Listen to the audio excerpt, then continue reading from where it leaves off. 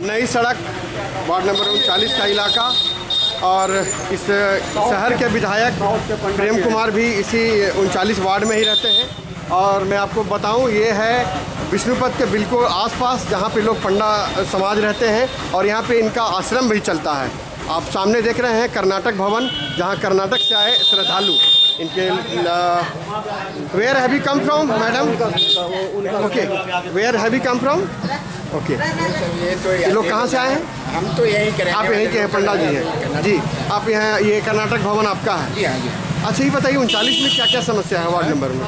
देखिए समस्या तो बहुत है। जी क्या है? मगर जितने विद्यार्थी लोग आते हैं जी। बहुत लंबे लंबे चौड़े चौड़े बात वो करके जाते हैं। मगर काम कोई करते नहीं है। जी। समझे ना? और बहुत दुख की बात है। जी। ये हमारा तीर्थ स्थल की जगह है। जी। और इस तीर्थ स्थल पर कोई अच्छी सुविधा है नहीं। समझे ना? क्यों नहीं? क्यों नहीं है कि प्रत्याशी लोग उतना ध्यान नहीं देते? हैं वो इलेक्शन के टाइम में लंबी लंबी बातें करके जाने वाले बहुत लोग हैं। मगर काम करने वाले कोई नहीं। हर टाइम इलेक्शन के टाइम में हम लोग यही आशा लगाते रहते हैं जी। कि कोई हमारे प्रत्याशी अच्छे आए जी। इनको करें।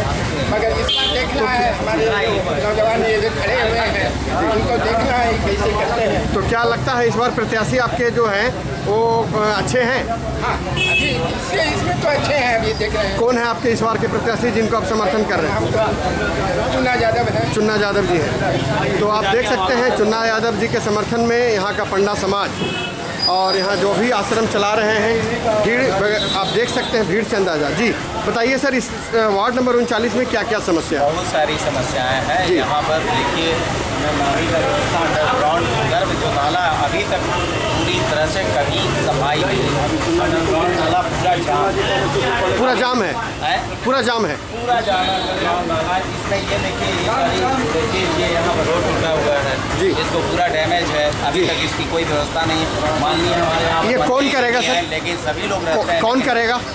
ये हमारे वार्ड के पार्षद का वो भी जी। हैं माननीय अभी जो वर्तमान वार्ड पार्षद हैं जी। और अभी जो हमारे भावी प्रत्याशी चिन्ना यादव जी हैं जी। अब देखिए उम्मीद तो बहुत सारी है नहीं तो अभी जो आपके वार्ड पार्षद हैं उन्होंने काम नहीं किया तो दिख रहा जो भी ये काम आपके सामने दिख रहा है जी अभी तो अब आप- चुनावी माहौल है तो अभी आपके उम्मीदवार जिनको आप समर्थन कर रहे हैं कौन है तो हमारे सामने जो अच्छे अभी इनका कार्य पिछले छठ पर्वों में हम लोग देखा इसलिए इनके साथ ब्राह्मी घाट क्षेत्र जी जो। हैं। बहुत सारा काम किए थे।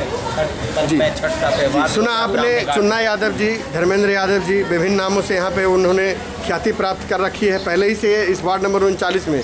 जी बताइए सर क्या क्या समस्या है और किसको इस बार वोट देकर जिताना चाह रहे हैं? चुना यादव का हम वोट देकर जिताना चाह रहे हैं। आ, क्यों वोट दे दीजिएगा सर इनको? क्या इन्होंने कर दिया? अभी तक ना तो अच्छे काम कर रहे हैं। जी। अब करने वाले हैं भी। अच्छा काम कर रहे हैं करने वाले भी हैं। सुना आपने? इन्होंने कहा कि अभी अच्छा काम कर रहे हैं और अच्छा काम करेंगे भी। तो ये है वार्ड नंबर उनचालीस का इलाका। मैं और भी लोगों से बातें करूँगा। जी बताइए सर क्या क्या समस्या है वार्ड नंबर उनचालीस में? जैसे नाली साफ़ होना।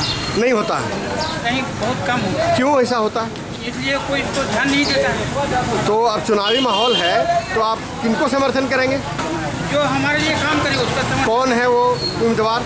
जब आप जो खड़े हुए हैं जी। हम देख रहे हैं उनका प्रोत्साहन बहुत ज़्यादा है। जी। आ, आप समर्पण है तो उसका हम ध्यान देंगे। जी। आप नाम बता पाएँगे उनका? जिनका समर्थन आप चाहते हैं करना खड़े हैं चाहते यहाँ पर। जी क्या नाम है उनका। जी चुन्ना बाबू तो आप देख सकते हैं यहाँ पे चुन्ना यादव धर्मेंद्र यादव का नाम उनके नाम का लोग समर्थन करने में जुटे हैं। ये देखिए यहाँ पे सड़कों पे भीड़ दिख रही है और करीब करीब सारे जो लोग हैं वो कंठ बिल्कुल अ, जी। कुछ समस्या है सर आपके वार्ड में? समस्या है? ये चालीस में है अच्छा। ये चालीस का वार्ड है रोड के बाएँ तरफ़ उनचालीस है जी रोड के और ये बाएँ तरफ़ का इलाका है ये उनचालीस वार्ड है जी। बताइए सर क्या क्या समस्या है उनचालीस में? जी। पानी का पानी का समस्या है। अच्छा ये इतना सुप्रसिद्ध इलाका है यहाँ सफ़ाई नहीं गंदगी नहीं गली लोगों ने मकान क्या यहाँ पे एक बार रोड पे रोड पे ही मकान बनाया है? जैसे सीढ़ी आप दिख रहे हैं जिस पे आप खड़े हैं ये रोड पे नहीं है? तो आप लोग सर, सरकार क्या करेगी? यहाँ की जनता से झगड़ा करेगी? यहाँ वार्ड परिषद क्या एमएलए क्या करेंगे? वार्ड परिषद झगड़ा करेंगे? ये यहाँ के लोगों की चेतना को कौन जगाएगा? आप लोगों का दायित्व बनता है, आप मानते हैं? जी। ठीक है, सर। तो इस चुनाव में अगला जो आपका, कौन उम्मीदवार है जिनका आप समर्थन करेंगे? जी, समय आएगा। इन्होंने बताया कि समय आएगा और समर्थन करने के लिए आगे आएँगे। आप देख सकते हैं इन तंग गलियों में भी इतनी भीड़ है। लोग जी अ, लोग यहाँ पे अ, जमा हैं सब अपने अपने घरों से निकलकर। वो चाहते हैं कि मीडिया से कुछ बताएँ अपनी समस्याओं को रखें। और हम ऐसे में ही अ, लोगों की समस्याओं को आपको बताएँगे। ये है नई सड़क का इलाका जो इसी इलाके में प्रेम कुमार विधायक भी रहते हैं। और ये देखिए लोग यहाँ पे खड़े हैं बात करने के लिए अपनी बात को बताने के लिए। बताइए सर क्या क्या समस्या है? ये चालीस है उनचालीस? ये तो चालीस है। चालीस है नहीं। एक समस्या है। आप आप रहते हैं उनचालीस में? जी, 39 बताइए हैं। उनचालीस में क्या क्या समस्या है? चालीस की एक समस्या है। नहीं उनचालीस की समस्या बताइए। चालीस की तो नहीं जी जी। तो लोग ये है रोड का दाएँ की तरफ़ का भागा है। बताइए। आप उनचालीस में हैं? जी बताइए सर उनचालीस में क्या क्या समस्या है? चालीस में मेनली तो अभी सप्लाई मिलता है पानी का नहीं पड़ा वाटर सप्लाई नहीं है। तो नाला साफ़ होता है। अभी जब आपके इसी क्षेत्र में विधायक भी सर आपके इसी क्षेत्र में विधायक भी रहते हैं वार्ड पार्षद भी हैं फिर भी पानी पीने का पानी नहीं। और ये पूरा विश्व प्रसिद्ध इलाका है नई सड़क विष्णुपद का इलाका। तो कैसे यहाँ पे इतना लॉ चल रहा है इतना आश्रम चल रहा है इतना मठ चल रहा है? पीने का पानी नहीं है तो। चापाकल में पानी जो आता है वो बदबू तो आपने इसके लिए कोई आवाज़ उठाया है? पार्षद को बताया है? यहाँ तो अभी ऐसा कुछ कंप्लेन नहीं गया था। जी। इसलिए वो नहीं मालूम है हमको। जी।